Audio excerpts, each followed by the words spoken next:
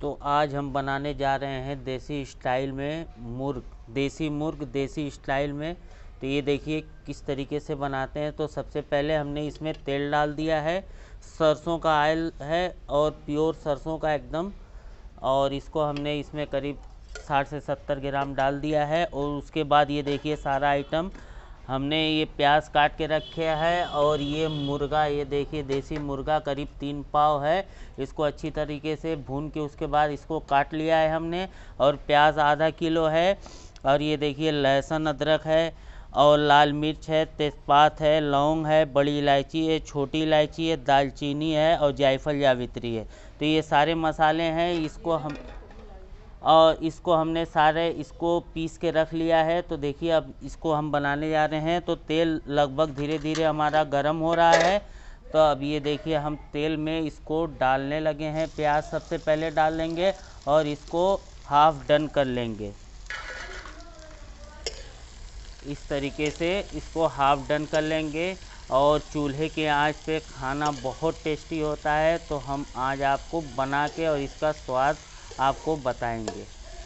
तो ये देखिए, प्याज भूनते ही वक्त थोड़ा सा इसमें हम नमक डालेंगे। इससे क्या होगा कि हमारी प्याज जल्दी तैयार हो जाएगी, जल्दी गल जाएगी, टाइम कम लगेगा। ये देखिए, हमने साथ में तीन चार लहसुन की कली है। इसमें ऐसे ही साबुत डाल देंगे, इसका टेस्ट बहुत अच्छा आएगा।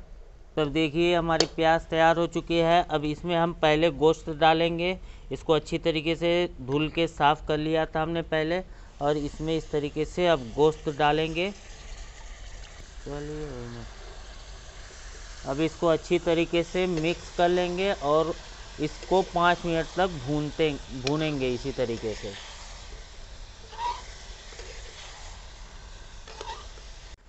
तो ये देखिए, हमने ढाँक के दो तीन मिनट तक इसको भूना है। अब इसको थोड़ा सा खोल के भूनेंगे और ये देखिए, पानी हल्का हल्का ये छोड़ने लगा। ये अपने ही पानी में पकेगा।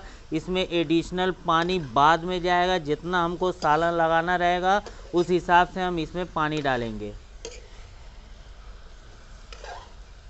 देखिए, बहुत ही शानदार तैयार हो रहा है और ये गोश्त चमड़ी के साथ है, बगैर चमड़ी के नहीं है। चमड़ी के साथ खाने से और भी टेस्ट बढ़ जाता है।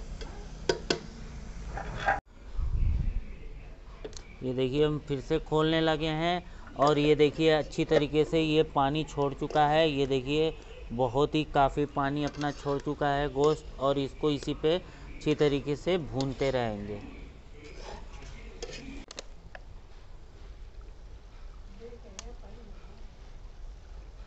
अब ये देखिए इसको अच्छी तरीके से हमने इसमें पानी डाल के और धुल लिया है। अब इसको अच्छी तरीके से एक मरतब मिक्स करेंगे और इसको बंद करके रख देंगे पकने के लिए करीब 20 से 25 मिनट के लिए। हम्म, तो ये देखिए हमारा मसाला भूनते भूनते सूख चुका है। अब इसमें हम पानी डाल के इसका सालन लगा देंगे।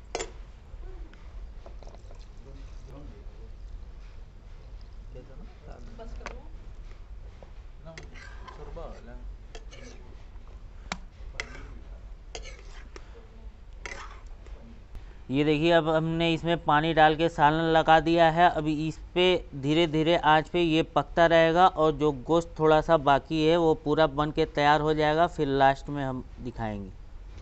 तो ये देखिए दोस्तों, हमारा गोश्त बन के तैयार हो चुका है।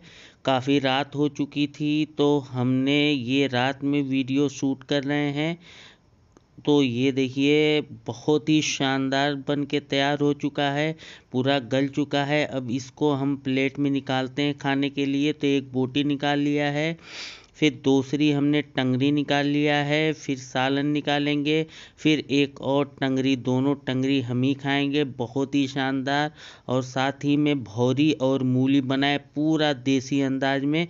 तो अगर आप हमारे चैनल पर नए हो तो चैनल को लाइक करें, शेयर करें, सब्सक्राइब करें। Thank you for watching my video.